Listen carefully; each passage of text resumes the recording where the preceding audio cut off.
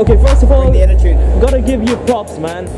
I thought you were gonna go the distance. I, I thought it was about to go. Um, with like one the of distance. the best fighters in New Zealand, Gunnar the Stunner. Yep. What, tell me what you're feeling right now. Um, Tired.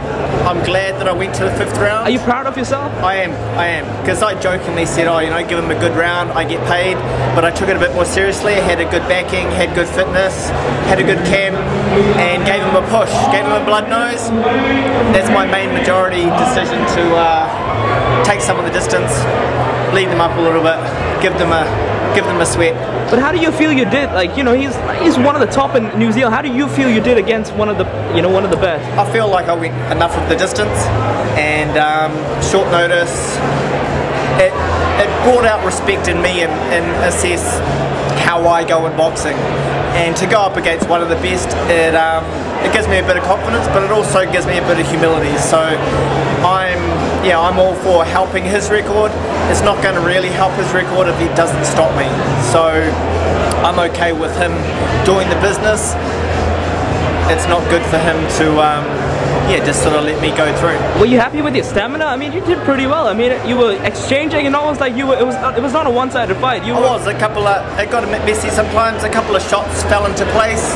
Um, I felt him grabbing. That's the sign that I feel a bit more confident when he starts grabbing a bit more. He's not comfortable with what I'm doing, and I'm pushing him a bit until I give him a blood nose. And once I see that blood, I've done my job. So the routine you do before, you know, on the bike, it really shows, right? It sure shows out there, right? Yeah, so Yeah. I don't feel like I gassed too The much second in there. win? Yeah. And um, yeah, the second win kicked in and um, was able to focus focus on a bit of game plan, listen to my corner, hopefully show a bit of quality, and put on a show for the night to um, look forward to the last fight. Can you t- talk to me about the, the the the fifth round though? What happened in the? You know, what what did you see? Um, I I didn't see anything. I felt like there was a minute to go. I took the foot off the pedal. I might have lost a bit of concentration, and something tagged me. Because there was one punch I saw, a swing. Yeah. And then from then it just sort of you just put your hands up and you went into defense mode. Yeah, Yeah. yep. I, I felt like um, yeah, I I saw stars for a half second.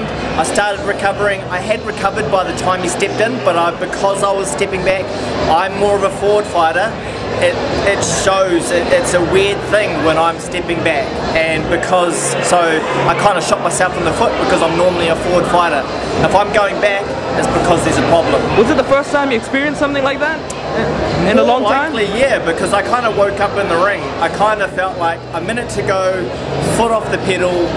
I can, I can just coast to the finish line, listen to my corner to just just finish the round nicely. But I totally believe it's better for him to um, get a stoppage for his record. And for your record, it does really well, right? I mean, Gunnar the Stunner Jackson, For my number two, fight, yeah, pro fight. fight. So That's the. Were you happy with that? I was. I'm so proud of him. Yeah, me too, man. That I'm, was hear, I'm hearing a lot, a lot of people around are saying we didn't expect that much of a quality from Kendall being his second fight, and he really did bring it to Gunnar, and I'm just proud. Kendall, um, last word for your fans out there, and do you know you know how you end the interview, with the punch at the camera? Do your thing, man. oh, can just finish it. I've got my Give a last word to your fans out there, because I'm sure put it's your growing. best foot forward. I've got so many quotes that I could bubble off, bubble off. Um, yeah, just put your best foot forward. You never know what's going to happen, and um, yeah, people, people respect that. You did well, man. Really well.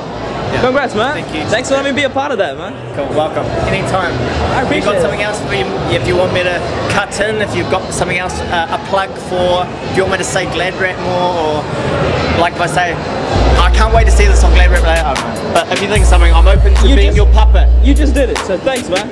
I know you're not the Illuminati, but like, hey, I am easily manipulated by cash, money, what? Nice, nice. Thanks, Benji.